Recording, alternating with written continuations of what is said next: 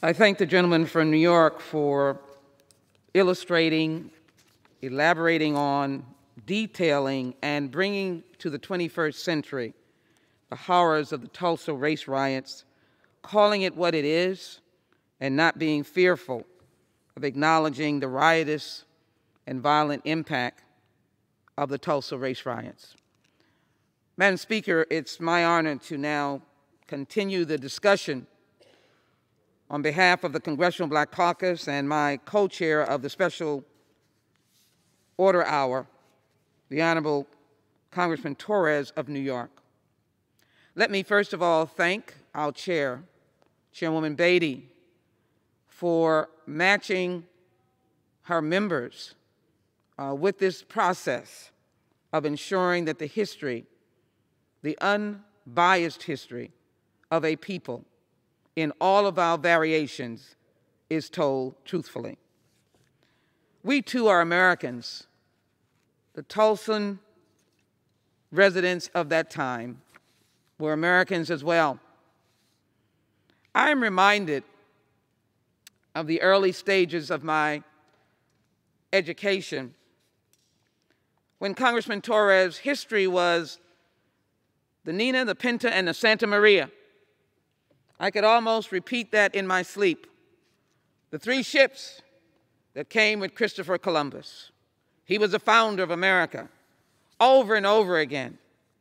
I'm not sure during the period of our early childhood and those of recent vintage learned anything of Native American history, Korean American history, Japanese American, Chinese American, African American, slavery, I don't know if our children in periods of the 20th century and now in the 21st century knew there was more history. I do know that the past president wanted the Smithsonian of African American culture to stop teaching about African history. I know that there was a challenge to the U.S. Department of Education by majority minority leader, excuse me, to be corrected, McConnell, to stop teaching the 1619 Project. It baffles me because I believe that if a country or a people know its history, we will not be doomed to repeat the past. And when I say a people, America is represented by many people. If we knew each other's history, if we understood each other's history, could we not even if not those who are already past understanding it, could our children grow up with empathy and understanding? That is why we're here on the floor of the House. We're not here to castigate and to throw untruthful hits. We're here to tell the truth.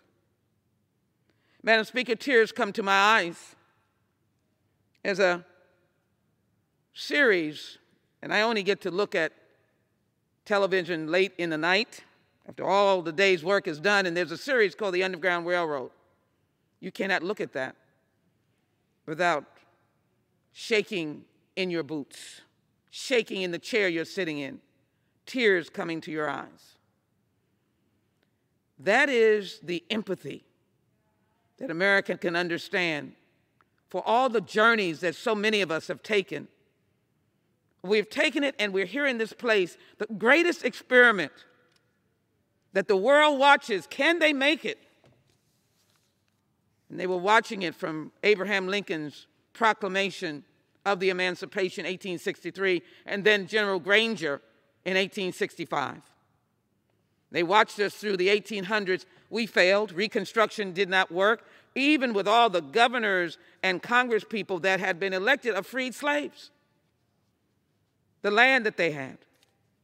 That ugly head of racism, white supremacy, lynching, the tearing asunder of black communities, the still tearing apart families, the lynching of men and women who went off to a grocery store, when I say that, the local store, whatever it was, down the road and never came back. 1921, boy, I, I, I'm just so proud of this picture. This is the bustling Tulsa, Oklahoma.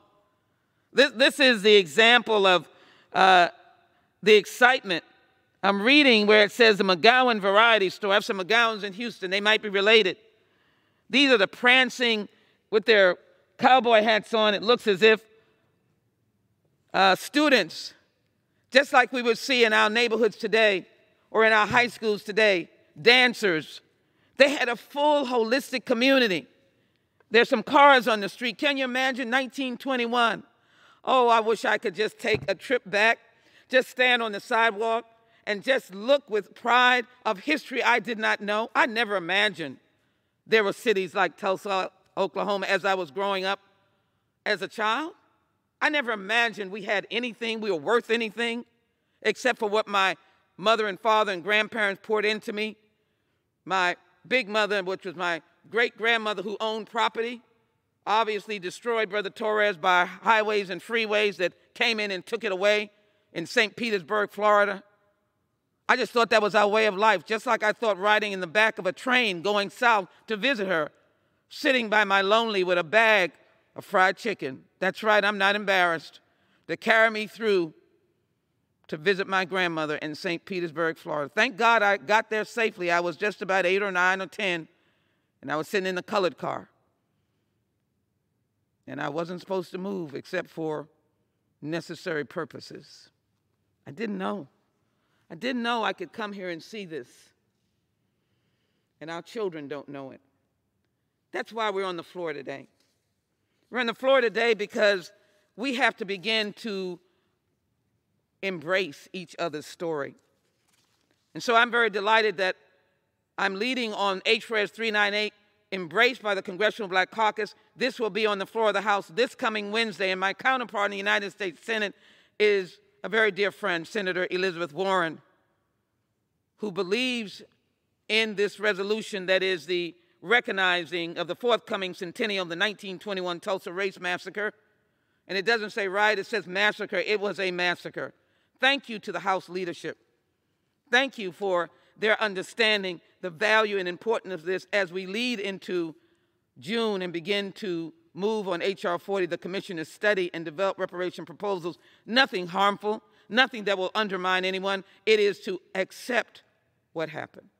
I'm so grateful we have almost 100 co-sponsors and maybe more to come in the next 24 hours for a story that was never told. Oh yes, I could tell you about Columbus, tell you about Abraham Lincoln, tell you about George Washington. There's a little black girl, and most of them today in the 21st century, they're not hearing about the wide diversity of our history, Madam Speaker, yours and mine, and the many people that are on this side of the aisle or that side of the aisle. And so let me just recount very briefly again a century ago, white riders, local law enforcement, and self appointed vigilantes claimed to be acting reasonably and in self defense against what they feared was an upcoming black uprising. Same as January 6th, where there are people who had the audacity to say, look like tourists on any normal day when we were laying flat on the floor in this building while banging and screams and guns drawn on this side of that door we didn't know whether we would live, and a life saving shot for that person who did not know what was happening, attempting to save lives. Sadly, someone lost their life. Members in near panic, rightly so, leaving these chambers and walking down and seeing AK 47 in the hands of individuals laying flat on the ground that our brave officers had under their watch. Yes, rioters. But in Greenwood, I want this picture to be embedded in your DNA because you will see economic prosperity, self sufficiency. Yes, it was known as the Black Wall Street. They viewed, however, black males as fearsome physical threats to their personal safety and the rivals of white women. I don't know what happened in an elevator. Allegedly, the story, you know, it's always a mystery. But some claim of some insult that occurred. And all of a sudden, the word went out, and raging leaders of the white community, fine citizens, probably in church, in some church, over the weekend, when I say that in their church in that time, because they were always using the Bible wrongly and incorrectly, and I will say that. because I believe in a merciful, redemptive Jesus. As a Christian, there are many other faiths, Torah and Quran and other, but I know in the redemptive faith of Christianity, we believe in redemption. And we don't go out because we know that we have had one to sacrifice for us on the cross so that we might be redeemed. We sing that song in our community, let the redeemed say so. But apparently they didn't have that memory. 100,000 black people lived in that area, sold luxury items, 21 restaurants, 30 grocery stores, a hospital, savings and loan, a post office, three hotels, jewelry and clothing, two movie theaters, a library, pool halls, a bus and cab service, nationally recognized school system, nationally recognized school system, when all of us are fighting for our children to be educated. Today I left Houston, and guess what? We have a new resident of Texas, Curtis Jackson, known as 50 Cents. And we were standing together because he was producing with our Mayor Turner and Al Kashani and the school superintendent Gratham and all of elected officials to announce a entrepreneurial program. Can you imagine? To be able to build up our children. This had two black newspapers, six private planes, and I want to say it again, a recognized school system. On May 31st of that year, 35 city blocks went up in flames and 300 persons were murdered and to my knowledge buried in an unmarked grave. 800 were injured and 9,000 were left homeless. Yes, one cannot ignore this history, but it has been ignored. It's been snuffed out. It's been put under. I never knew about it until people like Dr. Crutcher from this great city and various leaders that have brought to our attention even more. But over the years, obviously, in my study of reparations, I've seen the insults that have happened when no one bothered to respond. Brutality that we are now trying to correct by acknowledging in HRES 398, and I hope my colleagues will come to the floor of the House to be able to address it. Let me show you what that massacre generated, and you'll understand as, Madam Speaker, how much time is remaining? seven minutes. Seven minutes. Thank you so very much. Sorry. So you saw the bustling town. You saw the bustling town. Then this is a charred Negro who suffered in the Tulsa riots. Yes, I'm like Emmett Till's mother. Let the world see it. This is what happened to an innocent black person. And by the way, the dead included children. Tulsa Historical Society, this is America. And this is a story that we failed to tell. This is what happened. We have more stories to tell. We believe a picture's worth a thousand words. We can never, never overcome that burned, charred body. I showed you what Tulsa looked like, the Black Wall Street, burned out ruins of Greenwood, Tulsa, Oklahoma Library. They've even got it in the library. I don't know how many people have seen it. A wasteland, a literal wasteland, smoke coming up, people's homes gone, wealth gone, never to be presented with any relief. None. Don't even think they got a thank you. Not even a thank you. And so our resolution condemns violence and destruction perpetrated against the African American community of Greenwood. Our resolution has a rejection and active opposition to the false ideology of white supremacy and condemnation of all groups. Our resolution believes in promoting tolerance and unity and taking actions to ensure governmental policies and actions do not foster division, disharmony, or tolerance. Our resolution is calling upon all Americans to celebrate the ethnic, racial, and religious diversity that has made the United States great. Our resolution encourages all persons of the United States to reflect upon the history of the United States as an imperfect, but committed journey to establish a more perfect union, our resolution is recognizing the commitment of Congress to acknowledge and learn from the history of racism and racial violence in the United States. Our resolution lays the groundwork for moving to H.R. 40, the Commission to Study and Develop Reparations Proposals, because we can see it in real life. So this is part of the Tulsa that never got acknowledged. Let me show you additional fires. So you can see the buildings going up in smoke. We're not making it up. All of these buildings, brick buildings, burned to the ground. Can you imagine someone who survived the post traumatic stress, the horrors of their life, the willingness not to live anymore, the giving up hope? And people wonder oh, those lazy Negroes and colored people who worked for over 250 years in bondage. Finally, is that the last?